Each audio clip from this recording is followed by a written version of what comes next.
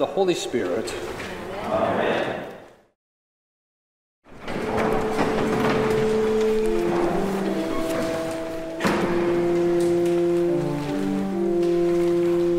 The Lord brought me to the banqueting house, and his banner over me was love.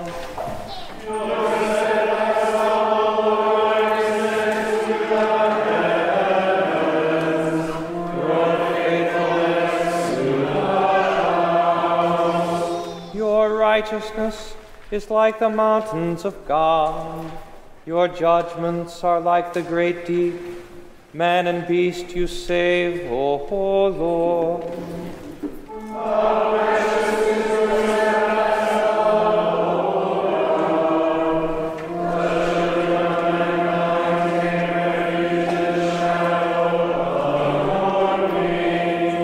They feast on the abundance of your house, and you give them drink from the river of your delights.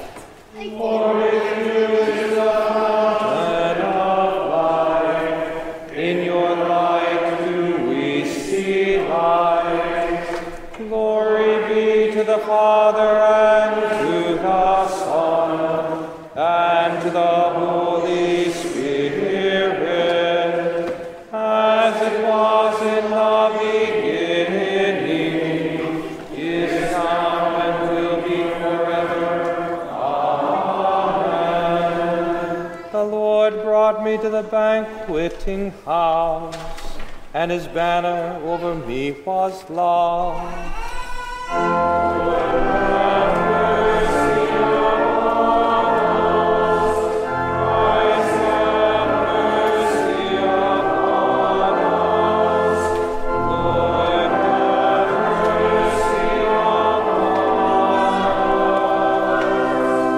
Glory be to God on high.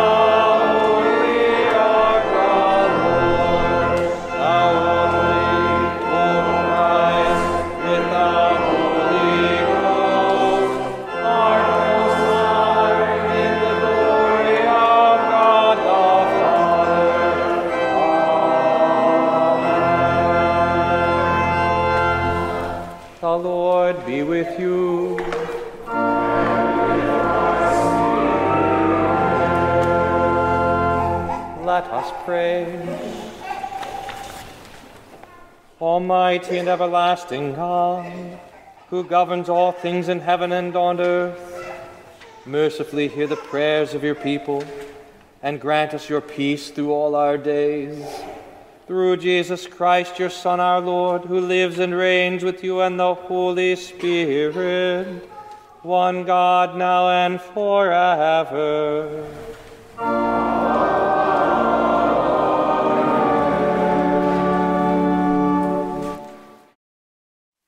Sunday after the Epiphany is from the book of the prophet Isaiah, the 62nd chapter. For Zion's sake, I will not keep silent, and for Jerusalem's sake, I will not be quiet, until her righteousness goes forth as brightness, and her salvation as a burning torch. The nations shall see your righteousness, and all the kings your glory, and you shall be called by a new name that the mouth of the Lord will give. You shall be a crown of beauty in the hand of the Lord, and a royal diadem in the hand of your God. You shall no more be termed forsaken, and your land shall no more be termed desolate, but you shall be called, My delight is in her, and your land married. For the Lord delights in you, and your land shall be married. For as a young man marries a young woman, so shall your sons marry you. And as the bridegroom rejoices over the bride, so shall your God rejoice over you. This is the word of the Lord.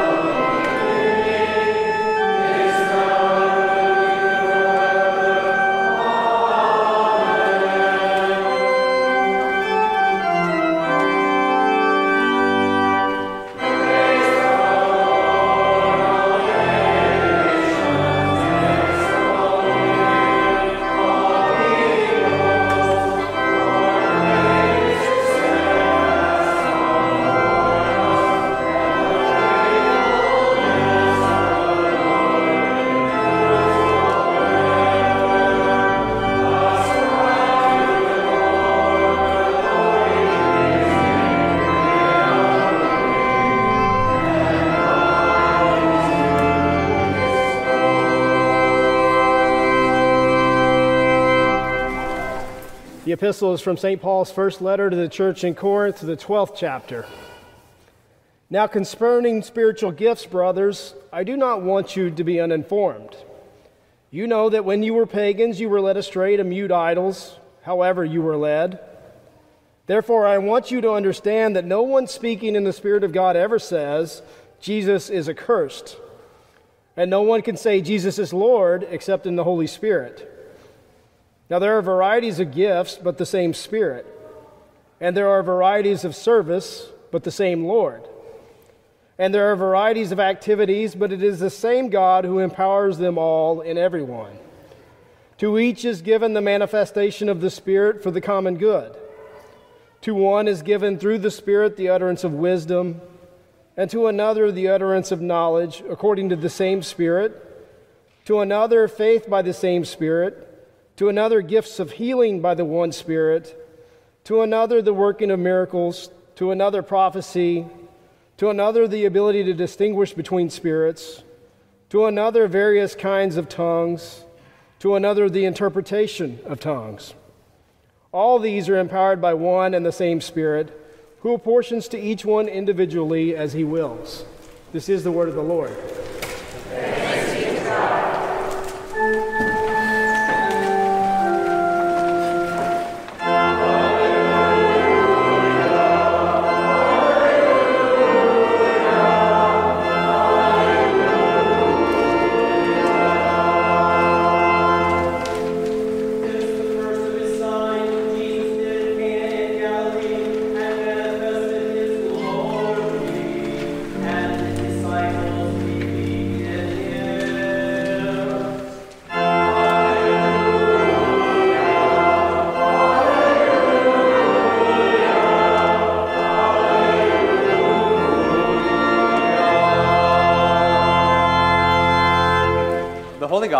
According to St. John, the second chapter.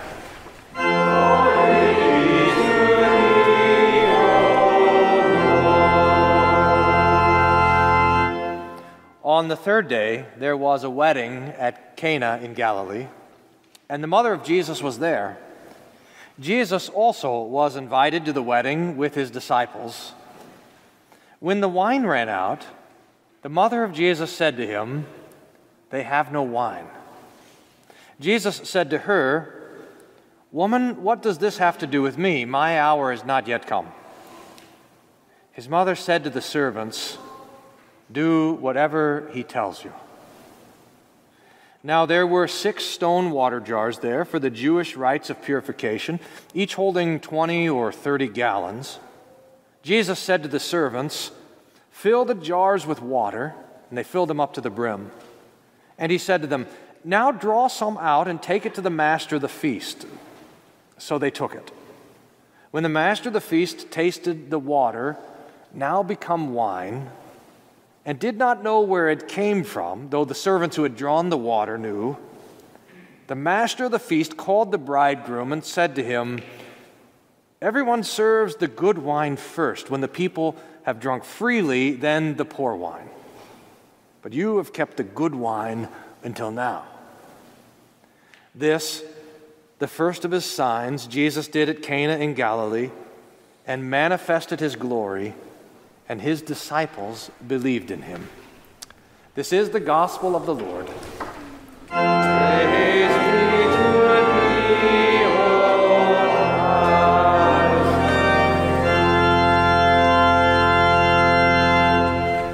I believe in one God.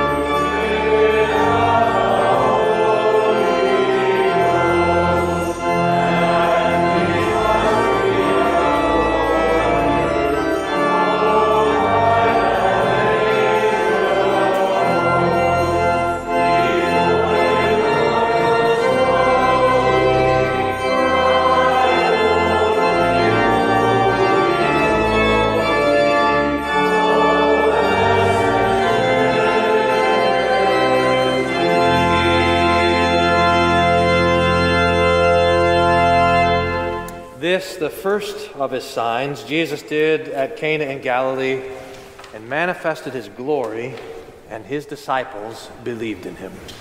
You may be seated.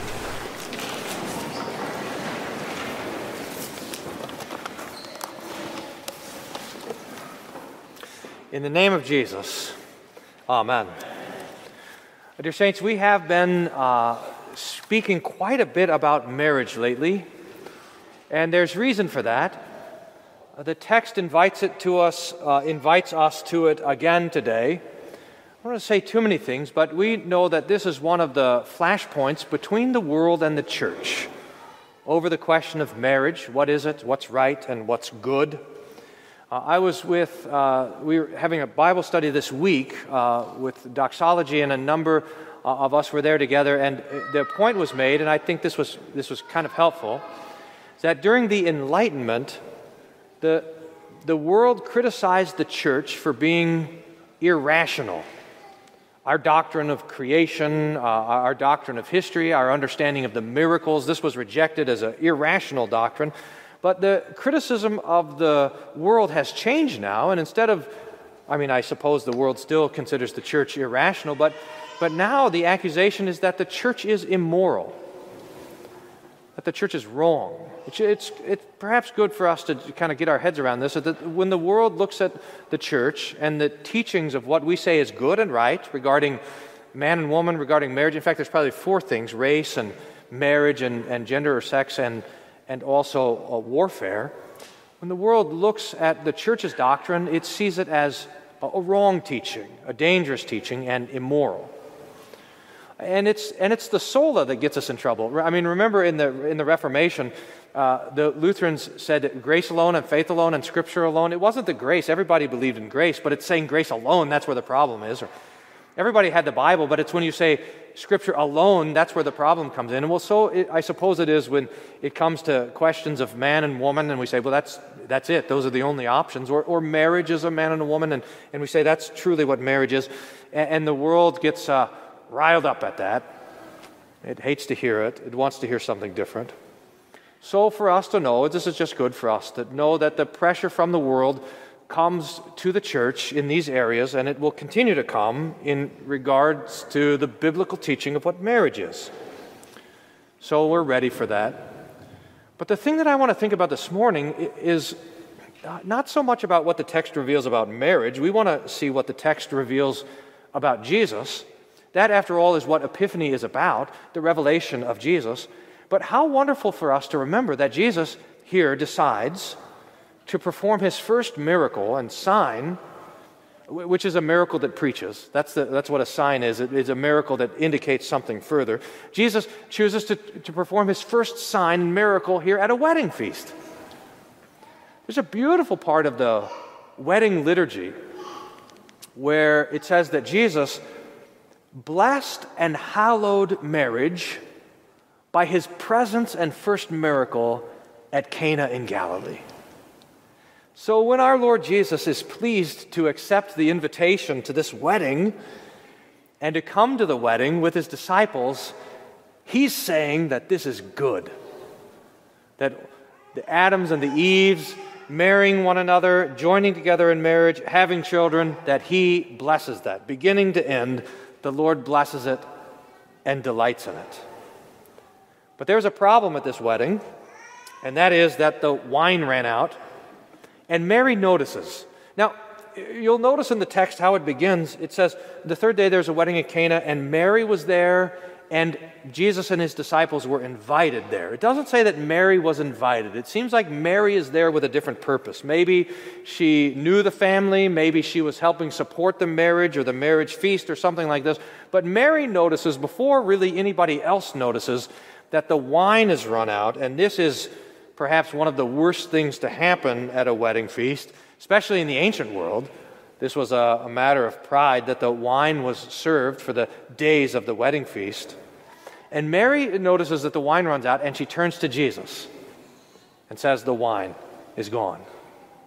Now, someone asked me last week, Because remember last week we were talking about uh, Mary and Joseph and Jesus in the temple when he was a boy, and they're looking for three days and can't find him, and then and then Mary find and Joseph they find Jesus and she rebukes him. Where were you? Did you not know that I had to be about my father's business? Jesus said, and and so Jesus uh, is. Uh, rebuking Mary, and yet he goes home and it says that he remained faithful and he honored his father and his mother all the way through.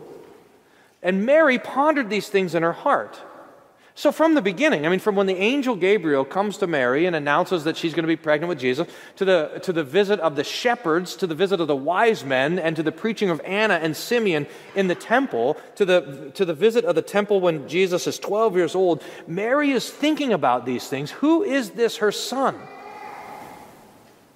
Who is this now uh, in the text, 30 years old? Who is this man, my son? Who is this Jesus? Mary's trying to figure these things out. And Mary perhaps heard of the baptism of Jesus by John and the descent of the Holy Spirit, and, and she is thinking, is it time? I mean, remember, Jesus, as far as we can tell, never performed any miracles or never indicated his divine power in any way up until this point.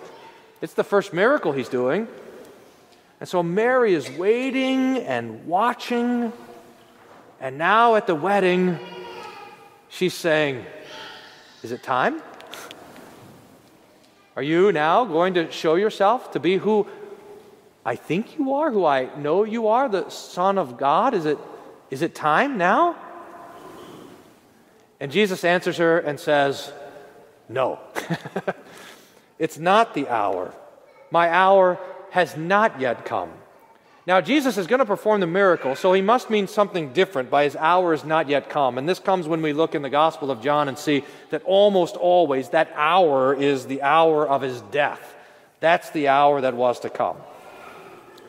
But Mary looks at Jesus and looks around at the feast and looks at the servants who are there, and she says, Do what he says.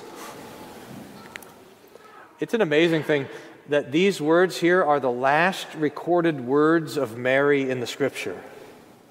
And, and that maybe is just something for us to meditate on. It, it's something helpful when we're having conversations with our family and friends from the Roman Catholic Church that just gets carried away with their thoughts and teachings about Mary, is to remember what the very last words of Mary are. Listen to Jesus. Mary doesn't want to stand between us and her son. Go to Jesus, listen to Jesus, pray to Jesus, receive gifts from Jesus. Whatever he says to you, do it. So there's six water pots of stone there. According, and John is careful to tell us this, according to the rites of purification of the Jews, containing 20 or 30 gallons apiece. The rabbis were crazy about purification.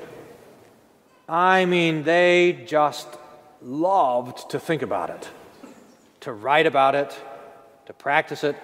There's all these handbooks of rabbinic lore about how to be a good rabbi, and the biggest one, the biggest volume, is the volume on purification. How to wash your hands, how to wash your feet, how to wash your head, how to wash your clothes, how to wash your couches, how to wash your homes, to, you know, the ritual washing, how to wash your food, how, uh, uh, all of these sorts of things. There was a joke in Jerusalem at the time of Jesus that said the mark of a good rabbi is he could make clean a bug, which were declared unclean by Moses, but he could apply so many rites of purification to them that you could declare the bug to be clean. That was, the, that was what the Jews were all about. And so there's all this water that was there, probably set aside for the bride and the groom and the attendants of the bride and groom, for all the rites that they would have to go through for purification according to the rabbis. And Jesus is specific in this. He says, You see those, uh, those water pots there that are set apart for purification? Take them and fill them up all the way up, and then draw some out and take it to the master of the feast. And he does. The servants do it.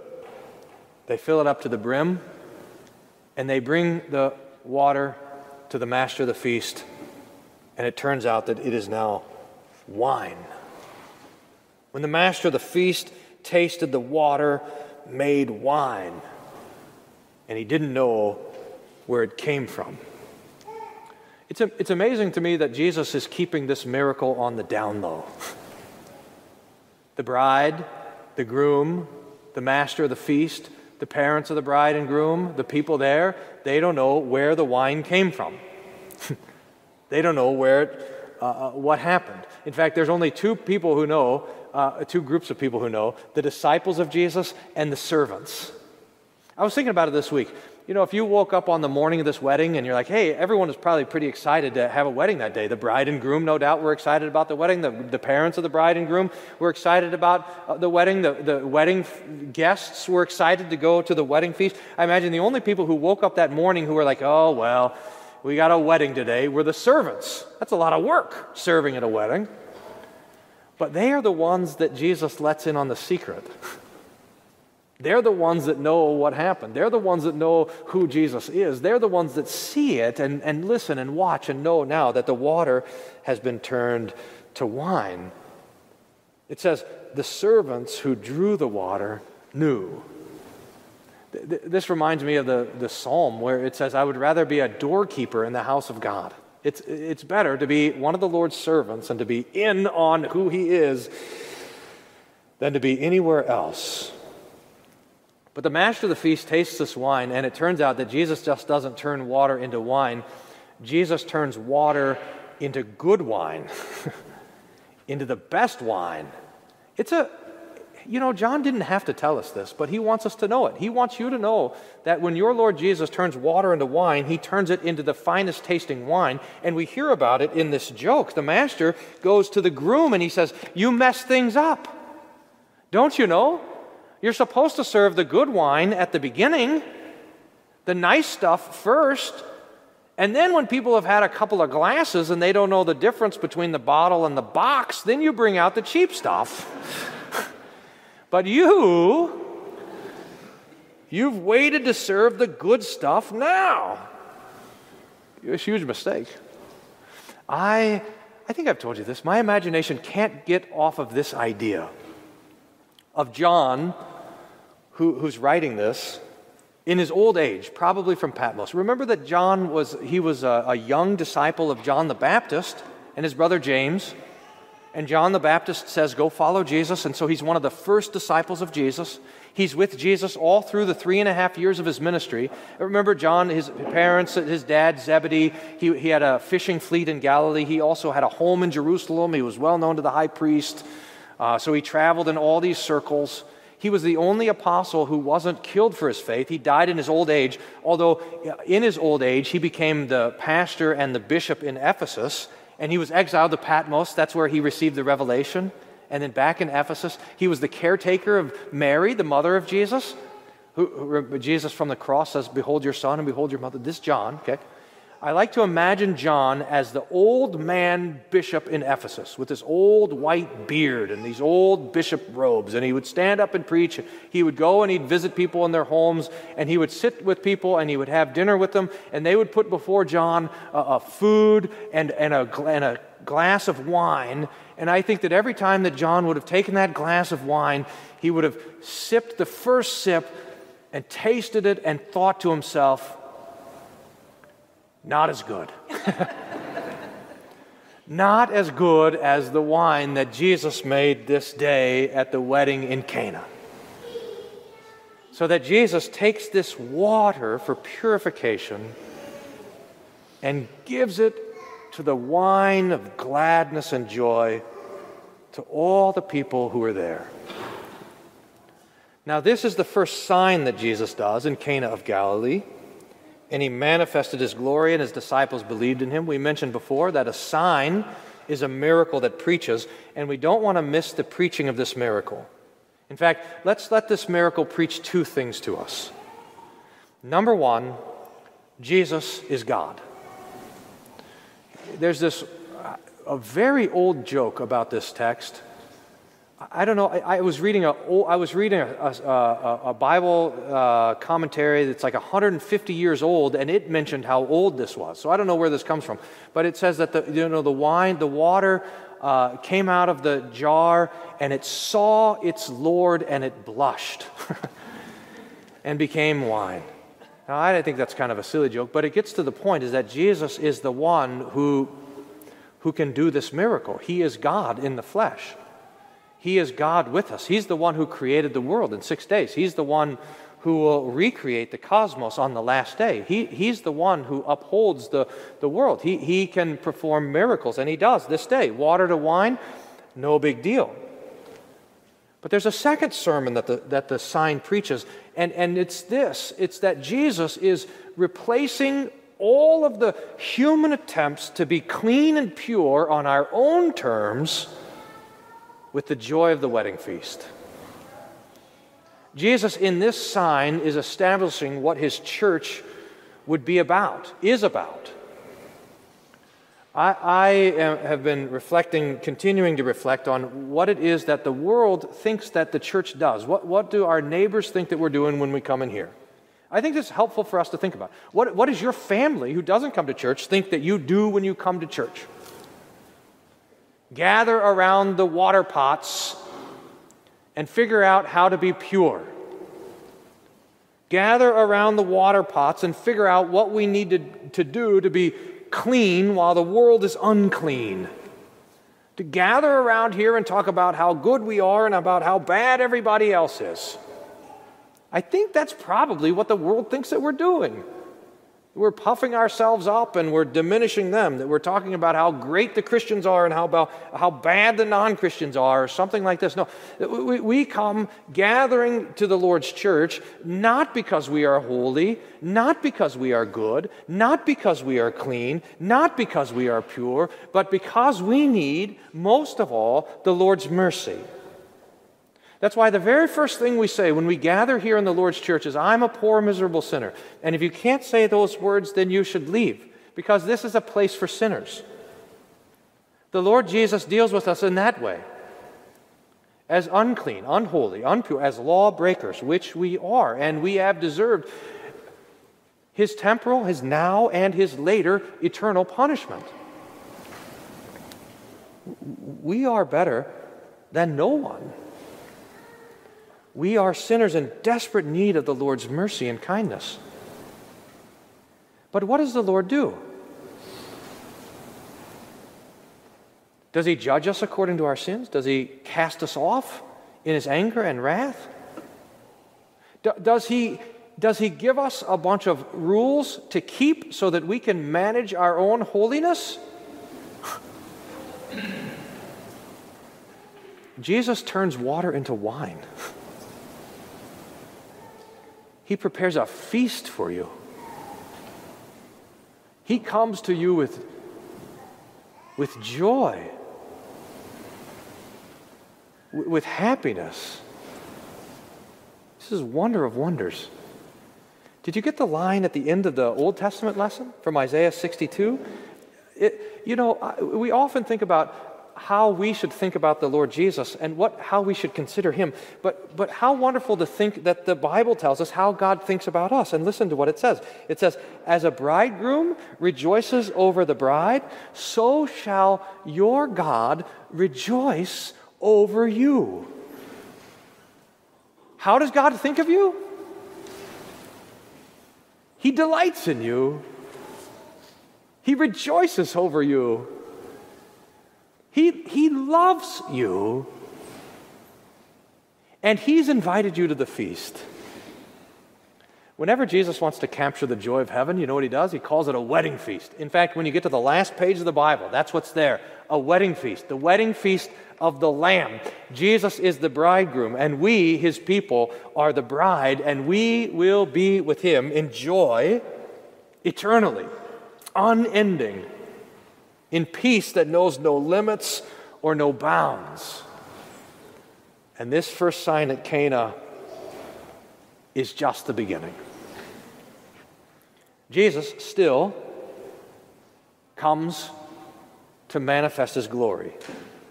And for us, it's a little bit different.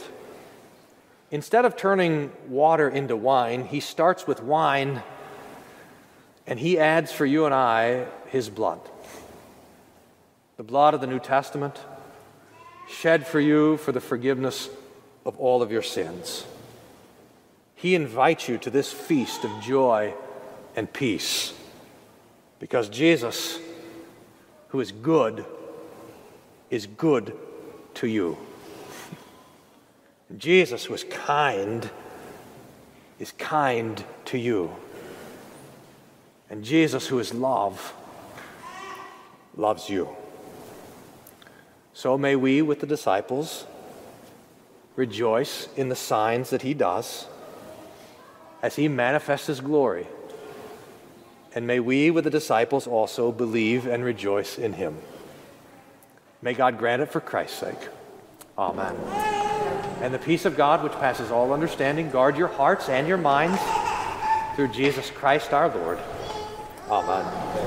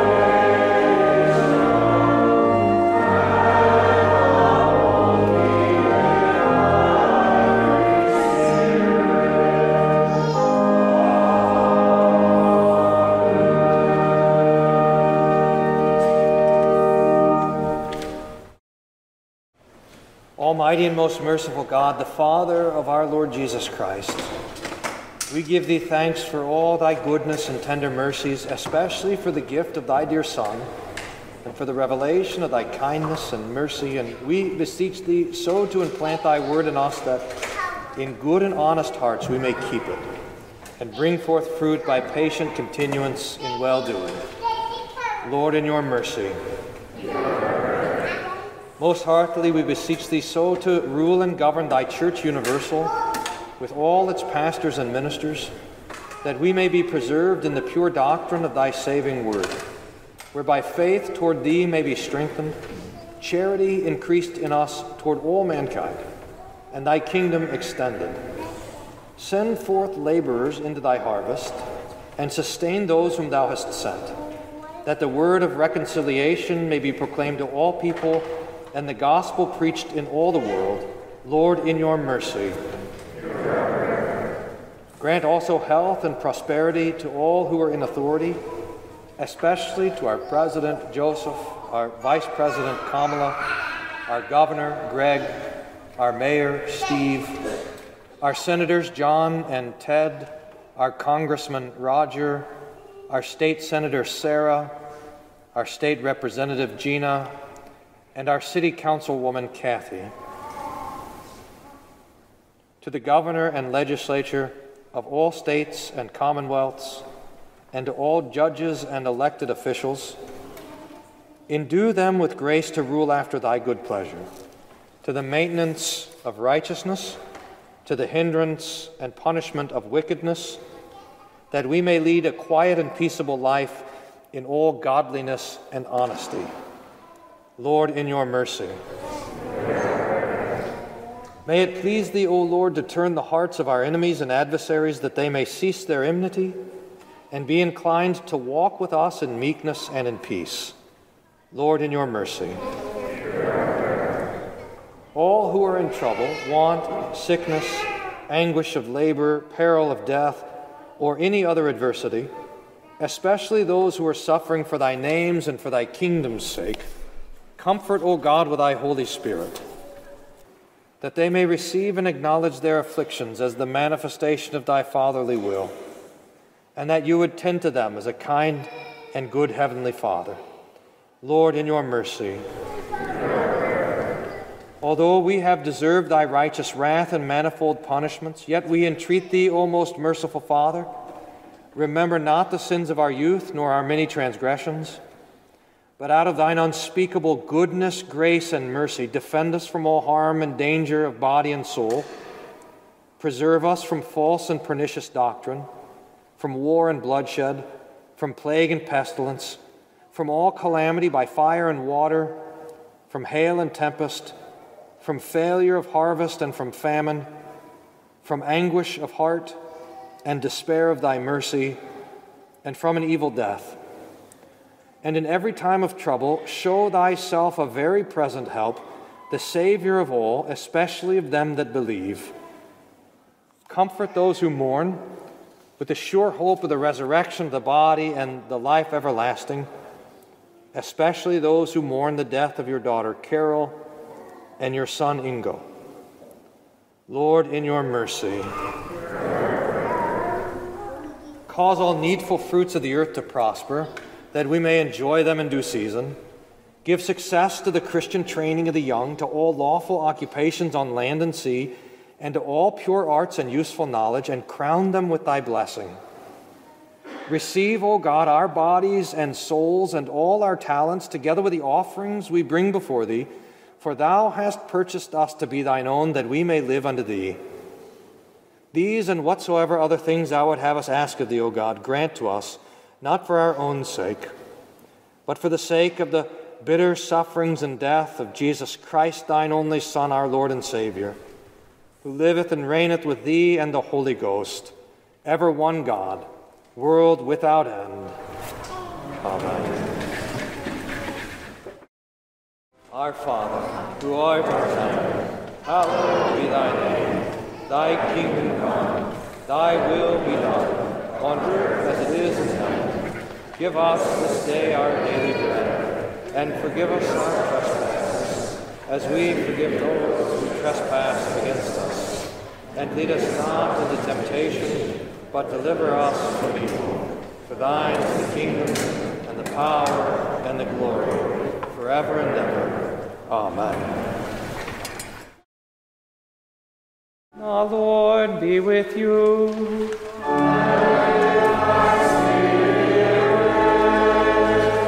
Bless we our Lord.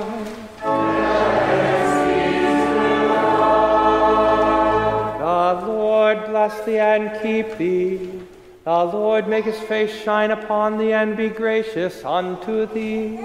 The Lord lift up his countenance upon thee and give thee peace.